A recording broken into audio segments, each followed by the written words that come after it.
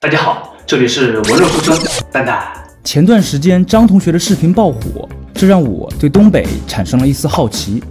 但是，网络上总是能看到无数神州土味视频，指定没有你好我这事啊！这似乎也导致了人们对东北的刻板印象。不过查数据却发现，东北是城镇化率、受教育程度最高的地区之一。网络和现实的严重割裂感，让我对这片神奇的土地产生了好奇，所以我就拉上朋友老吴，准备来一场东北深度探秘之旅。一路北上，慢慢的我就发现沿途和南方确实不一样。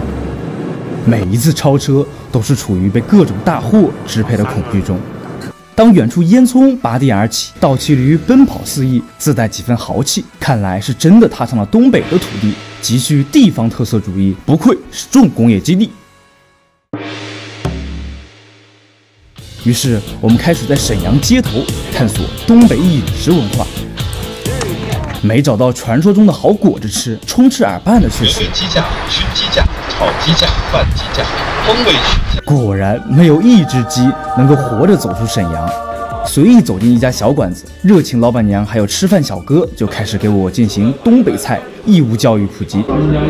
第三点，哎，地瓜子，那真是鸡真行，自乎。烤肉，这把牛肉炸蘑菇了，好吃。最后，我想两个人吃饭，就正常点了三个菜。但是你要两个人，他吃不了。嗯，他吃不了。你不要怀疑我的饭量。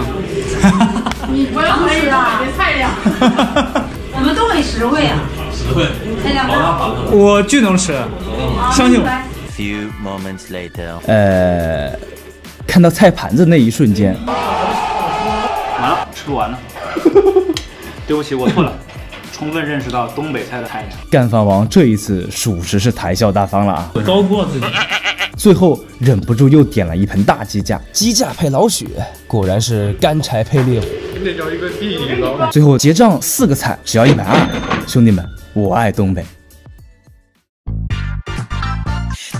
来东北之前，我以为这里和网上说的一样，那是北大荒苦寒之地。恰逢那几天刚好有流星雨，作为半吊子风光摄影师，我不禁想挑战一下，在东北能拍到怎样的风光大片。所以俩憨批就丢下美食，开始了艰难的星空之旅。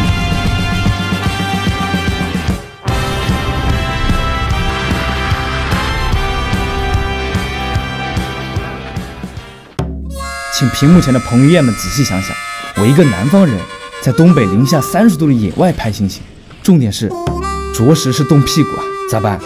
没关系啊，机智如我，把全家的羽绒服都带来了。哇，没有什么能够打倒伟大的中国人民。我穿了四件羽绒服，战胜寒冷的最好方法就是面对寒冷。好厉给！所以之后连续几天行走在深山老林里，他在滑，在滑，是吧？山东市饭店满足自每当天气不好，哇，你看云，我总会默念八字真言。果然，珠海姐姐从不让人失望。就这样，我们在东北的极致严寒中见到了最为壮阔的流星雨。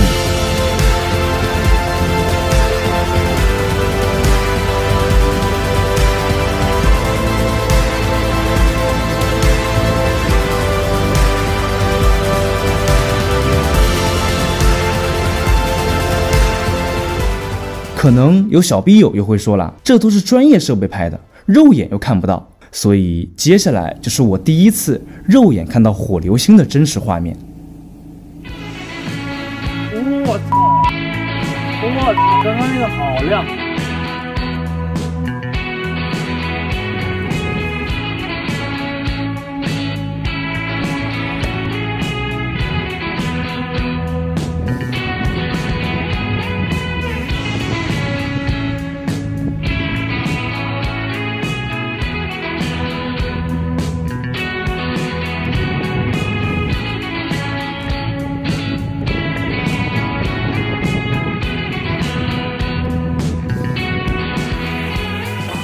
拍摄流星过程中，我们偶遇了一位摄影爱好者何哥。感谢何哥的生命之水，让我们熬过了零下三十度的漫漫长夜。那天晚上，何哥向我们讲述了抚顺的历史。九十年代之前，在全国属于领先，那不行，那不行，落后了。什么事都有个生老病死。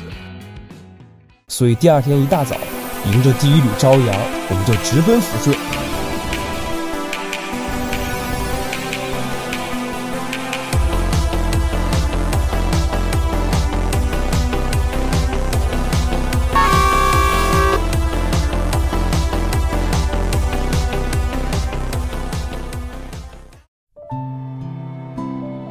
从高空往下看，抚顺的地形地貌可以说是满目疮痍。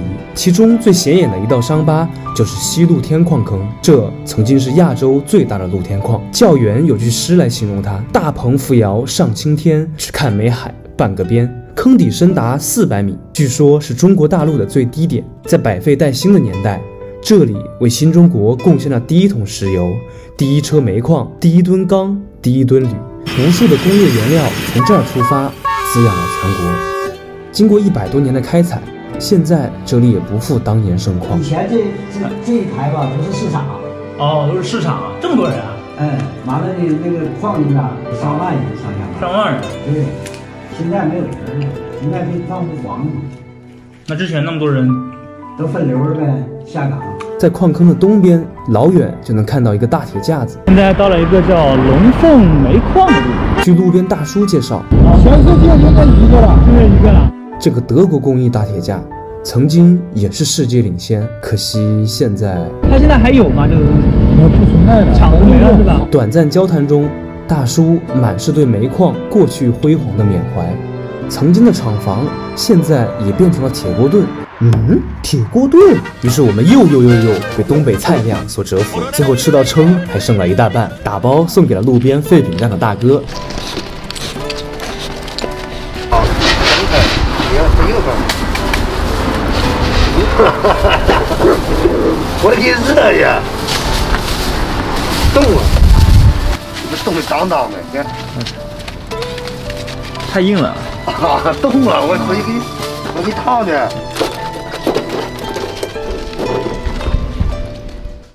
下午来到矿坑旁的废弃石油厂，有轨电车从过去开到了现在，门口的时钟停下了指针，也把一切停留在了旧时代。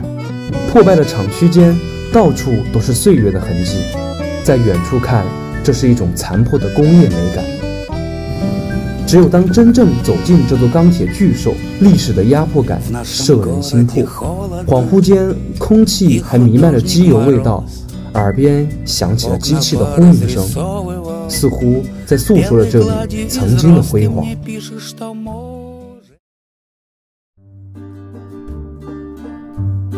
当共和国迈入了新世纪，这里仿佛还停留在昨天。出租起步价十几年一直都是六块，国光苹果十斤也才六块钱。这处1958年建造的家属楼，现在单间出租也只需要几百块。跨年呢，七十多年了，年轻人全走了，谁搁这住啊？住哪气儿好，别的好处没有，物业少啊，物业一年卫生费才四十八块钱。而一位烤红薯的阿姨能卖多少呀？看着阿姨缓缓推着小车的身影，后面的直播招牌显得有些讽刺。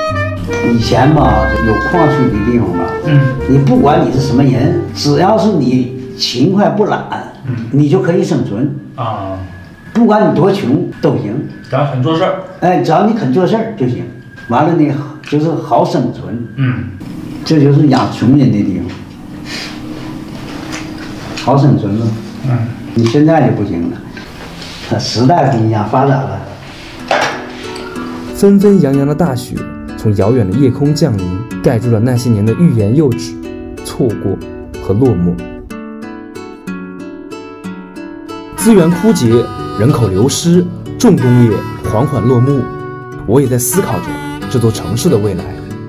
直到我遇上了一位腿脚不便的大叔。我六十二了，八几年就过来，八几年就过来，八几年不远万里从江苏来到东北搞建设，在工厂里奉献了一生，后来身体有了残疾，又被迫下岗。都买惯了，就卖点小货。这似乎是个足够悲伤的故事，好好在大叔告诉我，低保有，正常的国家补贴都有啊，那种这些残疾人了，这些啥都照顾都挺好。就是这个摊位他也不要钱是吧？市场上照顾不收钱。政府有低保和各种政策，平时自己摆个小摊，生活倒也过得去。大叔仿佛是无数个东北老一辈人的缩影，也像无数资源枯竭的城市一样，即使风烛残年，却依然在顽强的努力活下去。告别离开后，回头看着大叔依旧在楼道驻足，望着窗外，可能在缅怀着过去的光辉岁月吧。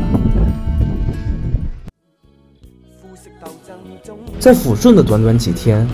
我看到了东北的兴衰浮沉，建国初期奉献一切，即使在疫情期间，东北地区派遣武汉的医护人员也是最多的。就像网友说的，东北没赢过一次网络暴力，但也没有输过一次民族大义。